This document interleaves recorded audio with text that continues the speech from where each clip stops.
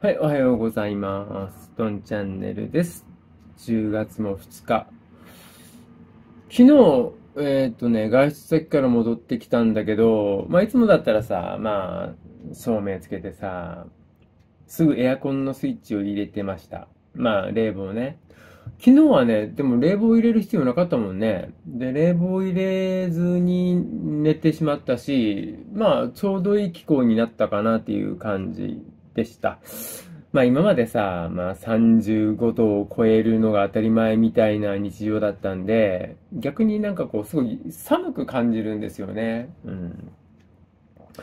まあよくね、季節の変わり目、ご自愛くださいみたいなね、そんな話になるのかなって思いながら、えー、今日が10月2日。うん。今日ちょっとさ、思い出したことを喋りたいんだけど、まあ自分チョコザップにさ、まあ1年間通って、て通ってたというか、通ってるんですね。で、この前、まあ、いつものようにさ、あの、胸筋、鍛えるチェストプレスをこうやってたんですよ。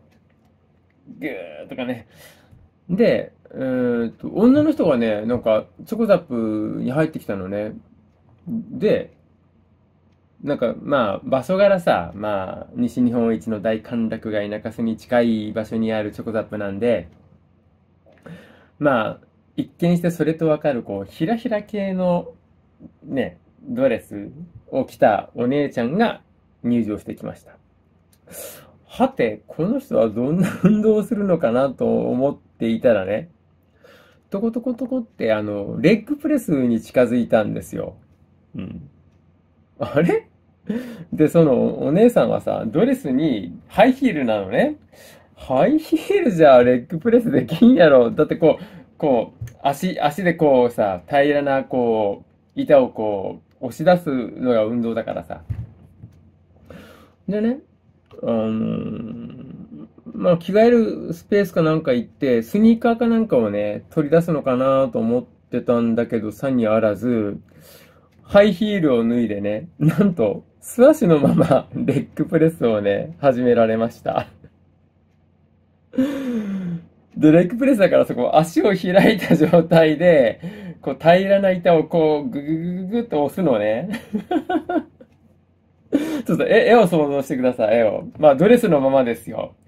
あのー、座って、素足のまま、レッグプレスの板を、こうぐーっと押している。で、機械の構造上、こう、足を閉じたままだと運動にならないから、足が踏ん張れるように足をこう若干開いて、素足のままあの板を押してるんですね、お姉さんが。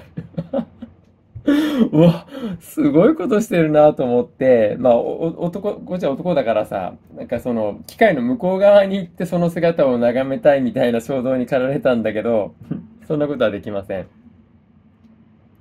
で、こっちはこっちでさ、チェストプレスを頑張ってるんでね。まあ で、まあ、僕はしたい運動が終わったんで、まあ出口からね、退出しようとしたんですよね。で、その女の人もなぜかね、ここっちを見てるんですよ。